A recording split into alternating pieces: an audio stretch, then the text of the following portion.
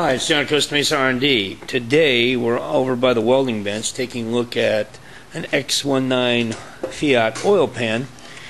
And if you're a Fiat guy, you probably know what this is. This is the aluminum sump off the X19. That works pretty well. Has nice baffle in it and uh, has a fairly good capacity of oil. Well, what we do for racing Fiats is to modify this pan by whacking off the bottom of the pan and actually constructing a box to weld on. And I want to show you this box and why we do it the way we do it so you understand the importance of good oil pan design. I'll pop the top off here. If you take a look, you can see that we have somewhat of a windage tray built into this pan. The only reason we have the hole in the pan is so that we can get the oil pump through uh, the pan so it'll sit in its right location. But what's more important is this bottom piece here. And if you take a look at this, you can see how it has some baffles in here.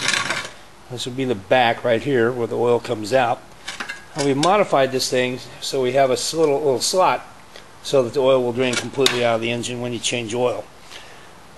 Now, the reason that we put this in an X formation like this on a diagonal rather than going straight across, crisscross, is to force the oil to the oil pickup.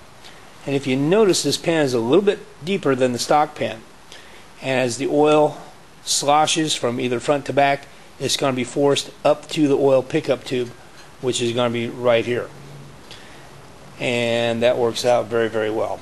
We've also got some more oil relief holes in here to allow oil to drain out because when you pick up the car to drain the oil it's going to lean back like this.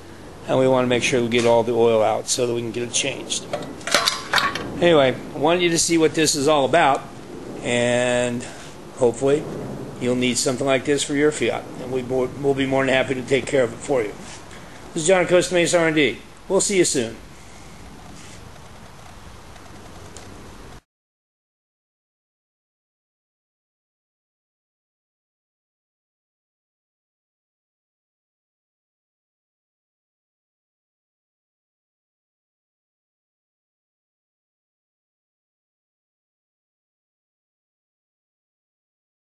Mm-hmm.